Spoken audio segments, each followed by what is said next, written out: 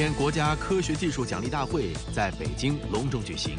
黄旭华、曾庆存获得2019年度国家最高科学技术奖，他们是中国科技界最亮的星。黄大年纪念碑在长春落成，斯人已逝，福音久长。科技强国的号角已吹响，这颗巨变的种子将如何以惊人的速度不断生长？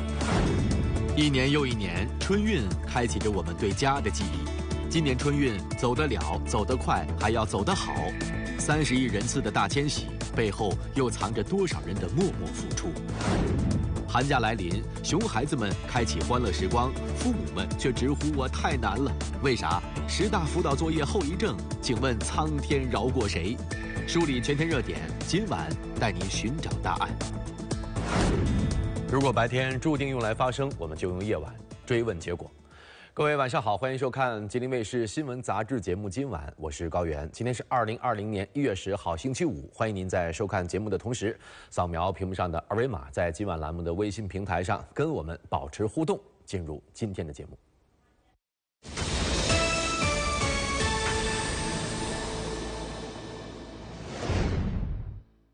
中共中央、国务院今天上午在北京隆重举行国家科学技术奖励大会。中共中央总书记、国家主席、中央军委主席习近平为最高获奖者颁奖。中国工程院院士、原中国船舶重工集团公司第七幺九研究所黄旭华，中国科学院院士、大气物理研究所曾庆存获得二零一九年度国家最高科学技术奖。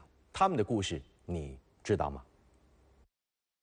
五八年开始一直到现今天为止，没有离开核潜艇工作。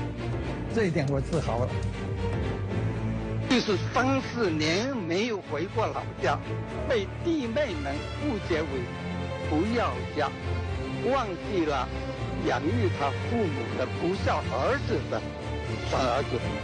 有人问我，忠孝不能双全，你是怎么理解的？我说，对国家的忠，就是对父母最大的孝。我和我的同志们，此生属于祖国，此生无怨无悔。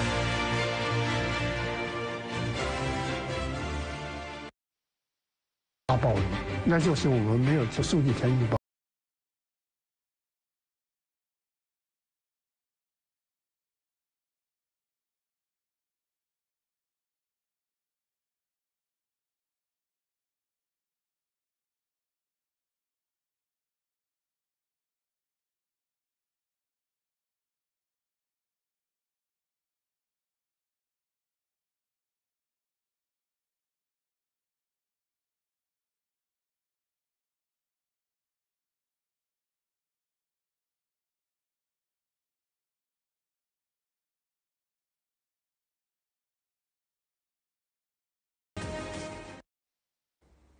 国家科学技术奖是我国各个领域科技创新成就的集中体现，在面向国家战略需求的重大项目，有致力于改善民生、绿色发展的科技创新成果，每年评审一次，由各单位和专家学者提名，共分五个奖种。二零一九年度国家科学技术奖共评选出二百九十六个项目和十二名科技专家，其中就包括国家最高科学技术奖、国家自然科学家。国家技术发明奖、国家科学技术进步奖、国际科学技术合作奖，科技进步是国家发展和改善民生的强大推动力。这得益于一大批值得尊敬的科学家将毕生心血投入到国家各项科研事业当中。这是一个国家对科研工作者的最高礼赞，也是一个民族对科技追求的最佳注解。他们是中国科技界最亮的星，致敬。科研行业投入高、周期长、见效慢。一项成功的科研成果可能建立在如山的实验数据之上，建立在一次次失败的基础之上，其背后是长年累月的艰辛付出，有的还是几代人的心血结晶。新年伊始，习近平主席在新年贺词中为这些科技成果点赞。嫦娥四号在人类历史上第一次。登陆月球背面，长征五号遥三运载火箭成功发射。雪龙二号首航南极，北斗导航全球组网进入冲刺期，五 G 商用加速推出，北京大兴国际机场凤凰展翅。究竟是什么科技魅力让习主席为他们点赞？二零一九年一月三号，嫦娥四号在人类历史上第一次登陆月球背面，传回了世界第一张近距离拍摄的月背影像图。这是人类探测器首次月背软着陆和巡视勘察，开启了人类月球探测新篇章。二零一九年十二月二十七号，长征五号遥三运载火箭成功发射，将我国东方红五号新一代大型卫星平台的首颗试验卫星实践二十号送入预定轨道。这是长征五号运载火箭的第三次飞行，从失败到成功，中国航天打赢了翻身仗。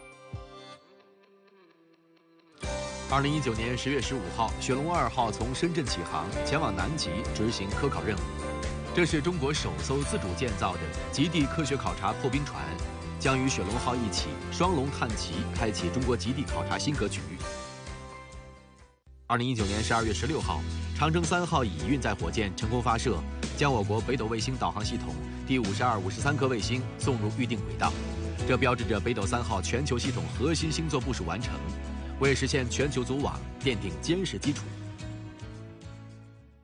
二零一九年六月六号，工信部正式向中国电信、中国移动、中国联通、中国广电发放五 G 商用牌照，我国正式进入五 G 商用元年，五 G 技术和应用创新在国内形成新一轮热潮。AI、工业互联网、智能制造、智能生活等领域，正因为五 G 赋能而发生质变。二零一九年九月二十五号，北京大兴国际机场正式通航，工程建设难度世界少有，初步统计已经创造了四十余项国际国内第一。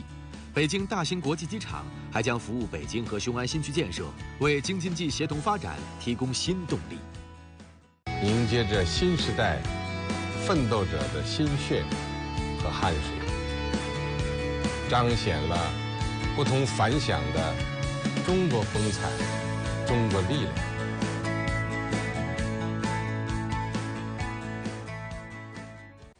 科学家是科技发展潮流中的探路人、领军者，也是我们心中最耀眼的星。为了纪念我国物理学家，吉林大学教授黄大年，一月八号，黄大年同志纪念碑在长春市九龙园社会公墓落成。黄大年是著名地球物理学家，全国优秀共产党员，全国时代楷模，杰出科学家，全国优秀教师。二零零九年，他毅然放弃国外优越条件，回到祖国，担任吉林大学地球探测科学与技术学院教授、博士生导师。而他的归国，让中国地球物理勘探正式进入深地时代。二零一七年一月八日，黄大年不幸因病去世，年仅五十八岁。黄大年同志纪念碑的落成，寄托了人们对这位心有大我、志诚报国的杰出科学家的怀念和哀思。把黄老师留下的事业做好，同时呢，像他一样，能够把我们国家在深地资源探测。在航空地球物理技术方面的一个发展推向更前沿。他的心有大我、志诚报国的精神，将永远在我们吉林大学的全体师生和广大校友中得到传承、弘扬和光大。我国涌现出的众多杰出科学家，无一不是在各自的科研领域日复一日潜心钻研，用满腔热忱焐热了一条条冷板凳，才创造出了丰硕的科研成果。精心笃志，心无旁骛，历届浮躁。他们这种干坐冷板凳、肯下数十年磨一剑的苦功夫、淡泊名利、潜心研究的奉献精神，是我们的宝贵财富，值得大力弘扬。由黄大年生前同事、学生等组成的黄大年同志先进事迹报告团，三年来已在全国开展一百三十多场报告，受众近百万人次。黄大年生前的科研助手、吉林大学教授于平是报告团成员之一。在女儿的印象中，妈妈总是缺席她的家长会，但却从未缺席过报告会。妈妈这次出差是去苏州做报告，像这样的报告，三年在三十多个城市，她做了上百场。报告的主题是怀念一个人，高压、劳累、过度悲伤，每次报告都是在回顾伤痛。我也问过妈妈，一场报告为什么要坚持这么久呢？这三年呢，我也一直在想，就是说我们做了这么多场报告，那么我们在观众心目当中，到底黄老师的这种事迹和精神，种下了一颗什么样的种子？让一个华人科学家参与此项敏感界限的研究。此时如果离开潜艇小鱼，是不是他？对不起了，小鱼。又让你的妈妈加班了，你知不知道，咱们国家地下呀有多少宝藏？黄大大要做出一个千里眼，在天上就能看到地下所有的宝藏，但黄大大自己忙不过来，需要你妈妈帮忙。你呀，一定要听妈妈的话。为什么三年来妈妈总是加班了。他在和同事们完成黄大大的梦想，通过报告，他们也把梦想传递给更多的人，让它成为现实。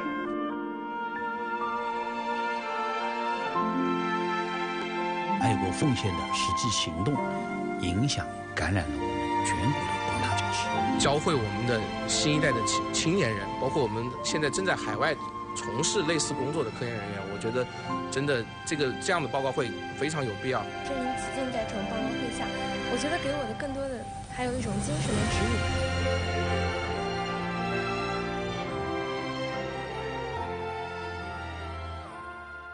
浩瀚的历史长河中，创新决定着文明的进步，必须把创新作为引领发展的第一动力。这一国家重大战略吹响了建设世界科技强国的号角。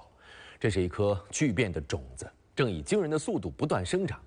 从嫦娥探月到长舞飞天，从蛟龙入海到航母入列，中国以一系列创新成就实现了历史性飞跃。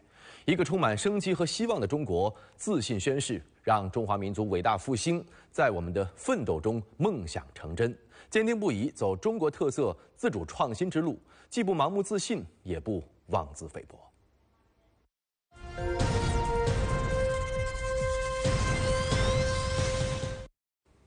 今天，一年一度的春运再次拉开大幕。一年又一年，春运开启着我们对家的记忆。世界再大，也要回家。今年春运从一月十号到二月十八号，四十天春运期间，全国旅客发送量预计将达到约三十亿人次，与上年大致持平，略有增长。不少人关心，我国运输能力能满足如此庞大的出行需求吗？随着交通设施日趋完善，春运供需矛盾将进一步缓解。二零一九年，我国新投运铁路里程达八千四百八十九公里，其中高铁五千四百七十四公里。许多贫困地区、革命老区、外出务工人员集中的地区都通上了高铁。全年新改建扩建的公路达三十三万公里，全国所有具备条件的乡镇和建制村通上了硬化路，北京大兴国际机场等一大批重大标志性工程正式投运，这些都为提升春运保障能力打下了基础。春运期间，民航旅客运输量预计达到七千九百万人次，比去年增加约百百分之八点四，将创历史新高。平平安安回家过年是老百姓最朴素的期待。作为一年中最大规模的人员流动，安全对于春运的重要性不言而喻。春运期间，多个部门协同发力，将确保春运平安有序。春运不仅要走得了、走得快，还要走得好。今年春运为了优化出行服务、提升旅客体验，各部门都推出了不少实招，让乘客的春运体验更舒适。一句话。春运工作协调机制各成员单位将全力以赴做好春运各项工作，努力增强人民群众的获得感、幸福感、安全感，用实际行动保障广大人民群众度过欢乐祥和的春节。那根据长春站的消息，二零二零年春运期间预计发送旅客四百万人次，日均十万人次，同比增加了二十点五万人次。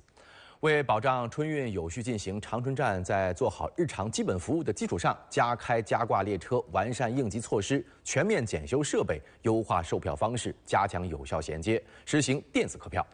春运期间，长春站将联合铁路公安派出所，加强铁路失信人管理力度，维护正常乘车秩序。长春龙嘉机场呢，根据航班情况提前做好预判，T 二航站楼二十二条安检通道全部开放，增加保障人员八百四十人次。同时，在闸机口设置问询服务台，为旅客提供有效的咨询服务。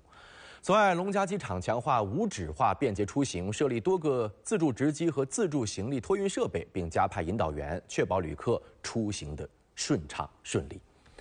今年春运开启之前，京哈铁路吉林德惠达家沟沿线接连迎来降雪，雪松景观浪漫唯美。但是呢，中国铁路沈阳局集团有限公司长春工务段探山工人王超无暇欣赏眼前的美景，他手拿探头跪在铁轨上。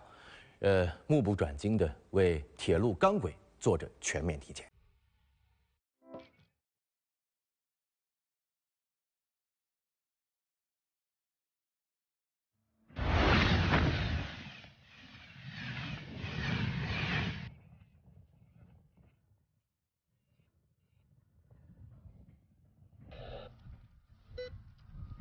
因为咱们现在这个线路都是无缝线路。整个一条区间是一根钢轨焊接起来的，它冬天的时候钢轨收缩，所以说钢轨里边要承受很大的力。如果这时候有一个呃钢轨里边有一个微小的缺陷，就呃很容易造成断轨。断轨之后，对行车安全产生很大的影响。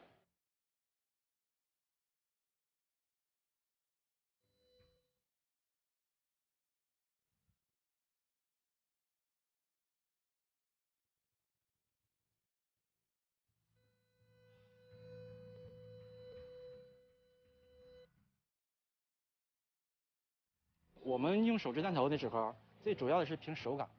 如果戴手套的话，呃，那个作业质量达不到要求。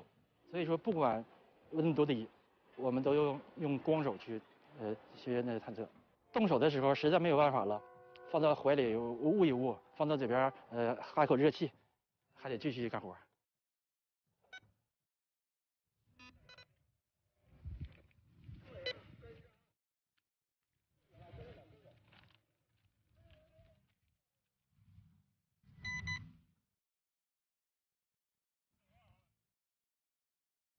春运的时候，应该是呃任务量还要大，呃那个工作还要非常要繁忙，因为春运的时候，呃列车的密度大，我们为了保证安全，就要呃缩短探车周期，增增加探伤频次。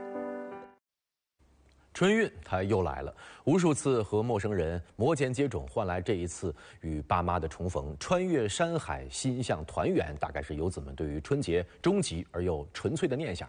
真是归乡路漫漫呐，在这场全民大联欢里，你十有八九会想不通：赶飞机、蹲火车、挤大巴，最后加上三蹦子，为什么依然会错过年夜饭？走家串户拜年，你的心理过程大约是这样：哎呀，这这么多小孩挺热闹，哎，别叫阿姨叫姐姐，不给红包不合适，哎，赶紧捂紧我的年终奖。而最难的是离别时分，爸妈的关心没有尽，而你的假期余额却不足。以上，如果你觉得条条扎心，那么我们做了一个小小视频，为您准备了一款新式团圆套餐，反向春运，优质低价没烦恼，买它。Everybody 注意了，二零二一年春节它来了来了来了来了，看看时下最火幺二三零六，十个同时有九个在用。可是拜托，人家每次的票都是限量的，自驾呗，清醒一点。你看这堵车的颜色，爆款番茄红，不要慌不要慌。今天小天来给大家推荐一款最新式团圆套餐，机票白菜价，车票不用抢，真正的性价比之王。来小助理，哎，除夕前三天从贵阳飞广州最低只要二幺九，最低只要二幺九，Amazing！这不就是个打车钱吗？看见没绿了绿了绿了绿了，Oh！买它买它买它，你不差钱，你有价吗？情感慢赶赶上年夜饭，不如把爸妈提前接来看看大年三十北京城。来，左边跟我一起转个圈，右边随便转个弯，天通苑到天通苑，一脚油门踩到底。小车，所有单身男女注意喽，反向过年还能帮你逃离七大姑八大姨的围追堵截。都快三十了，咋还不着急？找工作这么会找，咋找对象不会了呢？没有对象，有暧昧的对象也行啊。我跟你说哦，女孩子一定要尽快找个好归宿。我的妈呀，催婚困扰就地解决了，还有那些红包、职业假笑，通通下架。反向春运简直是社畜们的绝配，绝配，绝配。爸爸还住哪儿啊？你再说一遍，酒店爱好者的福利来喽！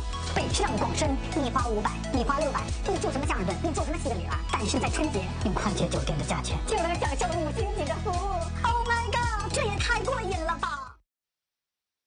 春运开启意味着年越来越近，眼下各大中小学陆续迎来寒假时间，放假了，熊孩子们开启了欢乐时光。可很多父母的内心独白却是：我太难了。为什么这么说呢？一写作业那是鸡飞狗跳，十大辅导后遗症，请问苍天饶过谁？咱减法不会，加法总应该会了啊！你不会，你掰掰手指头，你掰了不？掰了，掰了。七加五等于十，你咋办？掰手指头。你掰，你掰，你掰让我看看。一共十个手，手指头不够啊！哎呦我的妈！这需要想吗？啊，听听，这需要想吗？你给我说谁和谁组成谁？你对我算是仁慈了。人家的妈妈都脑溢血，你还没把我弄成脑溢血，我感谢你，感谢你了。乘法九九四十五，你他妈生气不？啊，九九四十五。公牛的公，公牛的公是哪个公啊？是这个公啊。工作的牛？什么工作的牛啊？小白兔，小白兔，小白的兔，白的又白。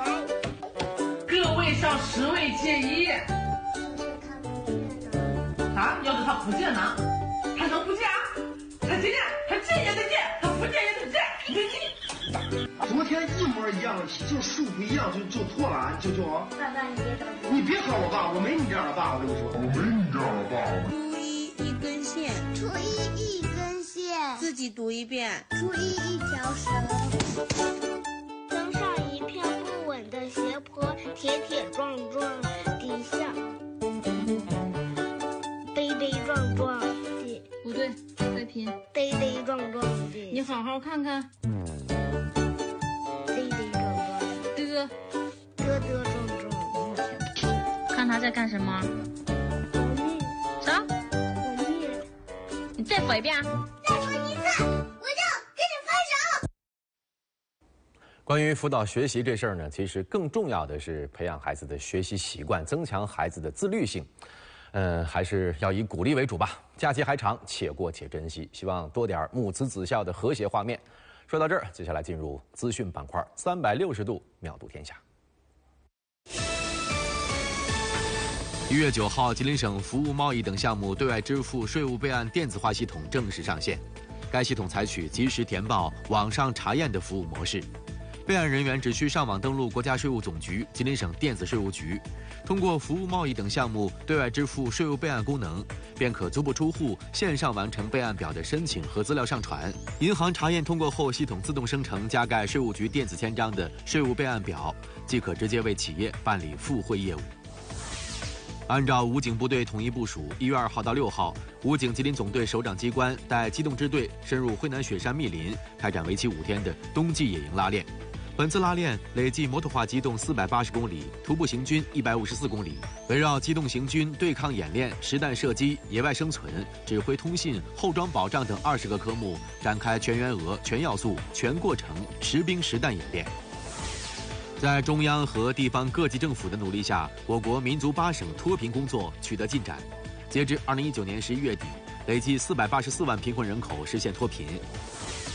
经过三天辩论并否决一系列修正案后，伦敦当地时间一月九号，英国议会下院以三百三十票赞成、二百三十一票反对的表决结果，三度通过了首相鲍里斯·约翰逊的脱欧议案。约翰逊向他承诺的完成脱欧再进一步。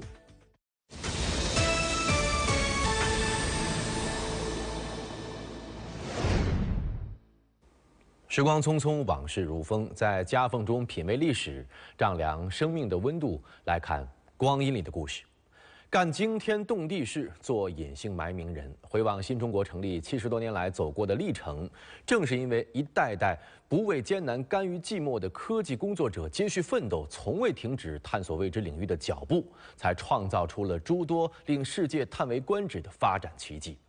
今天的光阴，我们聚焦五位耄耋老人，他们一生专注一件事，在各自领域成就卓越，却低调谦和。他们用实际行动告诉我们，什么叫做择一事，献一生。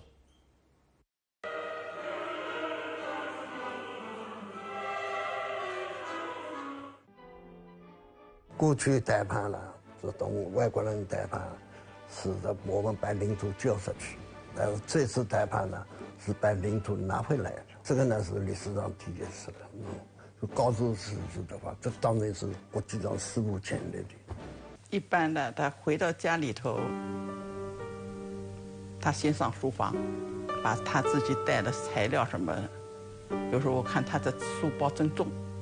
他什么有些材料就要晚上他都得看，我说你那上班是工作，下班也是工作。他说材料多啊。我一生在科研上做了点什么呢？我认为，我有一个思考的脑，接受历史赋予的任务，一双勤劳的手，动手克服面临的困难，一张嘴，二十七年。访问二十七个国家和地区，讲出中国的声音。我的一生努力，可以用两个部分重叠的圆圈来表示：一个是针刺，一个是疼痛，中间是什么呢？啊，这是这是一个韩世仪啊！对对对，医院发明了亚砷酸注射液，被评为国家二类新药，这就我的。这搞白血病。我发明了一种药，这个药呢，现在的名字呢，叫亚砷酸注射液。年纪大了就回去休息休息呗，为什么还要坚持看病人呢？我不去不行啊，我在这家里坐着，他那个病人呢，经常是不是一个人，还带着人，并带着病人带着家属上我家去。我说我接着干吧。这一干就干到现在。要评价一个现代化的城市，我认为不是看你盖了多少超高层、高层建筑，我要看你有多少城市公共空间，才说明你的城市规划、城市建设者心里真正有老百姓。传统建筑文化精髓是什么？嗯，是不是那个大屋顶啊？哎，是不是那个琉璃瓦呀？不能这么说。啊中国传统建筑文化的精髓，我认为就是在于以人为本、天人合一这样一个和谐共生的思想。我觉得我现在已经是倒计时的人，老了以后觉得我什么都无所谓，就是时间是有所谓的，因为我没有了。我只剩下这点时间了，所以我是倒计时的。我算好了，如果我活到这么些岁，我做什么？我再活几年，我要干什么？这我已经有谱了。人生一世呢，就像苏东坡讲的“飞鸿踏雪泥”。如果你这个人真的能踏出一个脚印，而且这是社会进步的脚印，那就是你最大的幸福。这也是人生最高的价值。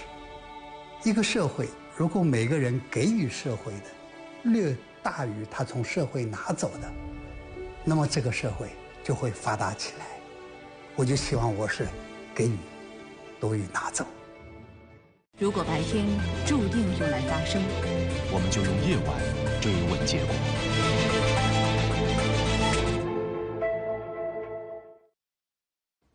一江寒水清，两岸琼花凝。进入雪季，天公格外作美。北国江城吉林市频频出现雾凇景观。节目最后，一起走进绝美的银白世界。好，感谢今晚有您的收看和陪伴，朋友们，晚安。